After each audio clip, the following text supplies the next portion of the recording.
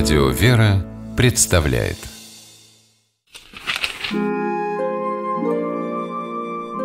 Сегодня, 2 июля, Церковь вспоминает святого апостола Иуду, святого Иова, патриарха Московского и всея Руси, святителя Иоанна Максимовича, архиепископа Шанхайского и Сан-Франциского, а также преподобного Паисия Великого, преподобного Иоанна Отшельника, преподобного Паисия Хелендарского Болгарского. Сегодня праздник икон Божией Матери Табынской и Курской коренной, именуемой Знамение. Святого апостола Иуду нужно различать с Иудой Искариотом, который предал Христа. Святой апостол Иуда до конца был верен Спасителю. Апостол Иуда был сыном праведного Иосифа Обручника и его первой жены, поэтому его называют еще братом Господним. Апостол Иуда не сразу смог поверить в божественную сущность Христа, поэтому сам он называл себя братом Иакова по имени брата, который раньше принял Иисуса как Мессию. После вознесения Христа Иуда проповедовал Евангелие в Иудее, Идумее, Самарии, Галилее и странах Аравийского полуострова. В 80 году в Армении, в городе Арате, апостол Иуда был распят на кресте и пронзен стрелами. Сохранилось послание апостола Иуды на греческом языке, которое он написал в Персии. Это короткое, но очень емкое по содержанию письмо содержит много глубоких мыслей о Святой Троице, о воплощении Иисуса Христа, о различии добрых и злых ангелов, о будущем страшном суде. Апостол по-гречески значит «посланник». Церковь чествует первых 12 учеников Христа за то, что они по завету Спасителя посвятили своей жизни проповеди Евангелия по всему миру. Сегодня – мы просим апостола Иуду, моли Бога о нас.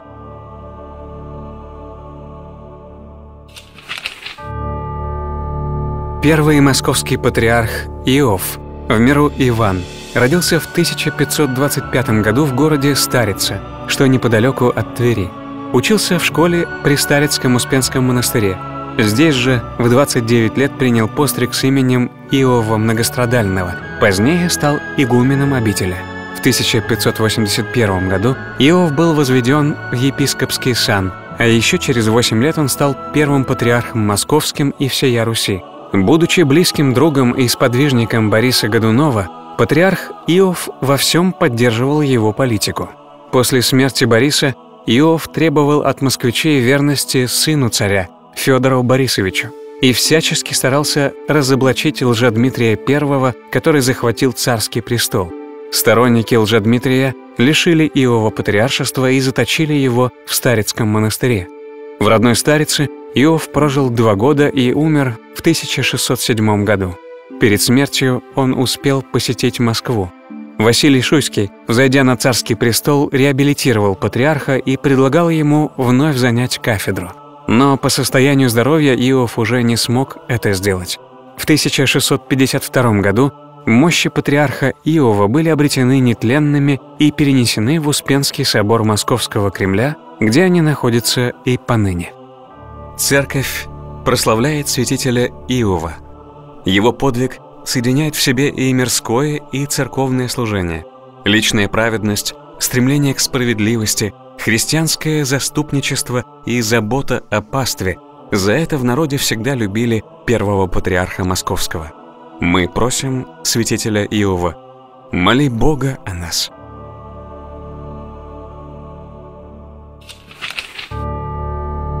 Святитель Иоанн Максимович до монашеского пострига носил имя Михаил. Он родился в 1896 году под Харьковом в дворянской семье. После революции эмигрировал в Югославию, где принял монашество. В 1934 году стал епископом шанхайским.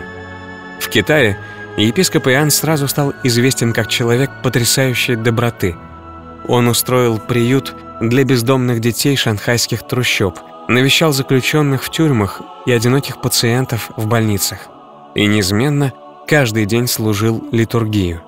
После китайской революции Иоанн Максимович вместе со своей паствой был эвакуирован на Филиппины. Затем некоторое время возглавлял западноевропейскую епархию. В 1962 году переехал в Америку.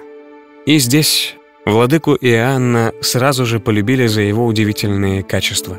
Неприхотливый в быту, он носил облачение из самой дешевой ткани, обувался в сандалии на босу ногу, а часто и вовсе отдавал свою нехитрую обувку нищим и шел босой, какая бы ни была погода.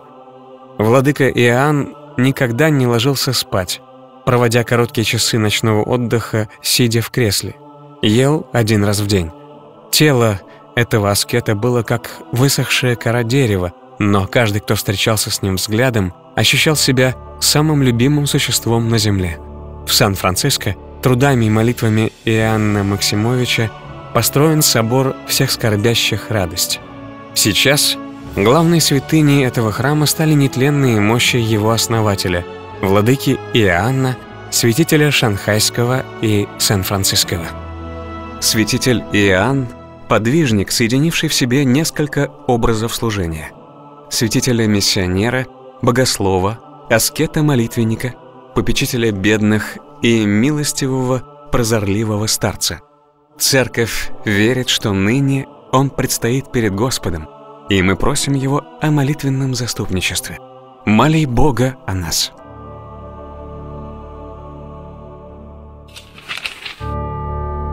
Преподобный Паисий Великий жил в IV веке в Египте. Паисий рано потерял отца, и мать, будучи христианкой, отдала его на воспитание в церковь.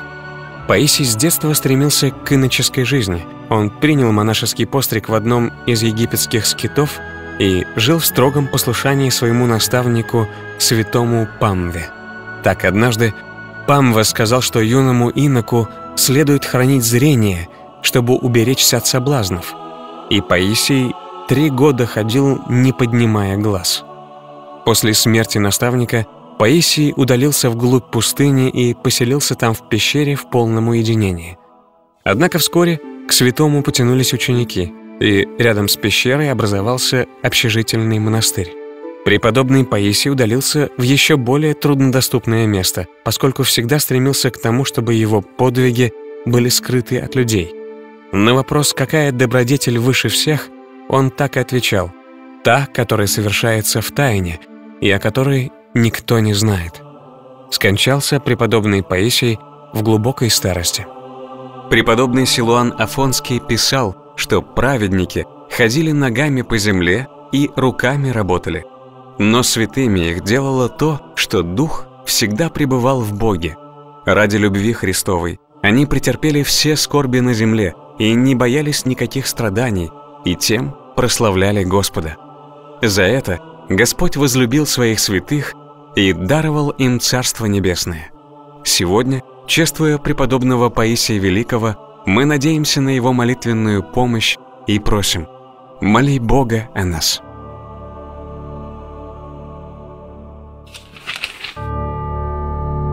Преподобный Иоанн жил в VI веке в Палестине – он избрал жизнь отшельника и поселился в пещере недалеко от Иерусалима. Из вещей у Иоанна была только иконка Пресвятой Богородицы, перед которой он зажигал лампадку. Один инок спросил отшельника, почему тот живет в такой нищете. Иоанн отвечал, что его пещера содержит такое духовное богатство, которое дороже всех земных благ. Старец часто посещал святые места Иерусалима, бывал на Синайской горе, молился у могил подвижников и мучеников. Он оставлял лампадку зажженной и спрашивал у Царицы Небесной благословения на свой путь. Иногда отлучки длились несколько месяцев. По преданию, когда Иоанн возвращался в свою пещеру, то лампадка всегда горела и была доверху наполнена маслом. Однажды Иоанн шел горной тропой до того узкой, что двум пешеходам трудно было разойтись. Вдруг отшельник увидел, что навстречу ему идет лев. Старец взмолился Господу, и тут зверь встал на задние лапы и освободил дорогу святому. Преподобный Силон Афонский писал, «Господь дал святым столь великую благодать, что они любовью обнимают весь мир. Мы обращаемся к ним в любое время и в любых нуждах. Сегодня мы вспоминаем преподобного Иоанна Отшельника, и просим, моли Бога о нас.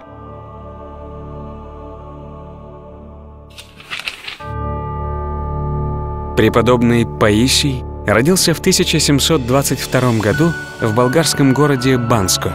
Это было трудное время для страны. Она находилась под игом Османской империи. Христиан преследовали, они считались людьми второго сорта. Но вся семья Паисия хранила верность церкви. Один его брат был игуменом Хиландарской обители на Афоне. Другой щедро жертвовал на храмы и монастыри. Сам Паисий стал монахом Хиландар, по примеру брата. Главным трудом его жизни стала книга «История славяно-болгарская». В ней рассказывалось о том, как великие учителя славянских народов Кирилл и Мефодий принесли Болгарии свет христианства. О том, как отстаивали свою веру болгарские мученики и подвижники. Эта книга пробудила самосознание болгарского народа. Она стала толчком для борьбы болгар с турецким владычеством. До независимости Болгарии оставалось больше ста лет. Но книга Паисия Хиландарского все эти годы была светильником надежды. С него началась эпоха национального болгарского возрождения. Преподобный Паисий был причислен к лику святых в 1962 году. В наши дни его именем названы университет в Пловдиве, многие институты, школы и библиотеки Болгарии. Церковь прославляет преподобного Паисия Хелендарского за личную праведность и почитает как одного из столпов веры и просвещения болгарского народа. Мы просим святого, моли Бога о нас.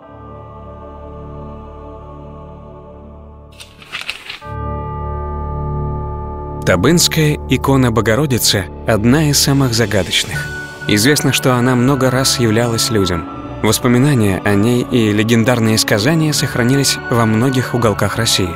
Первое явление образа состоялось в конце XVI века. Это было на границе башкирских и казахских степей близ станицы Табынской.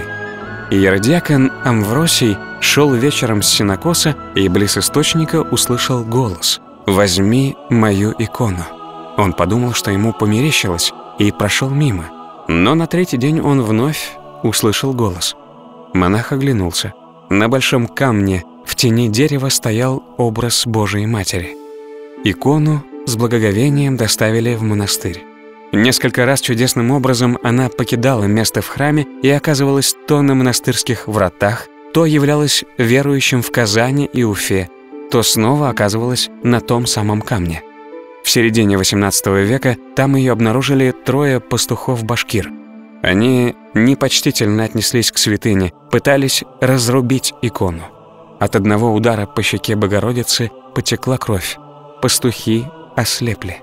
Зрение к ним вернулось лишь когда икону с честью поставили в храме.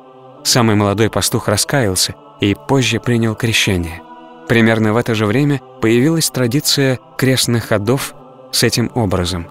Уфа, Оренбург, Тобольск, Кустанай с радостью встречали чудотворный образ. Табынская икона стала считаться покровительницей уральского казачества. Во время гражданской войны с войсками атамана Дутова образ попал в Китай. После Второй мировой войны следы иконы затерялись. В наши дни традиция крестных ходов с чтимым списком табынской иконы была восстановлена. С 2010 года по России и зарубежью идет круглогодичный крестный ход со святыней.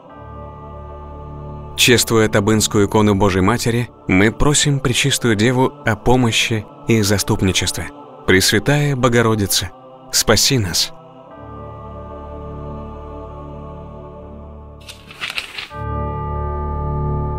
Курская икона Божией Матери, именуемая Знамени, одна из древнейших икон на Руси. В XIII веке, во времена монголо-татарского нашествия, среди многих разоренных Батыем городов был и Курск. Город пришел в запустение. В его окрестностях поселились дикие звери. Сюда стали приходить на охоту жители уцелевших городков. Один такой охотник заметил в корнях дерева икону.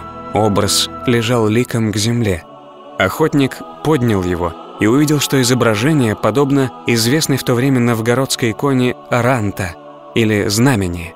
Тут же случилось чудо, из земли забил родник.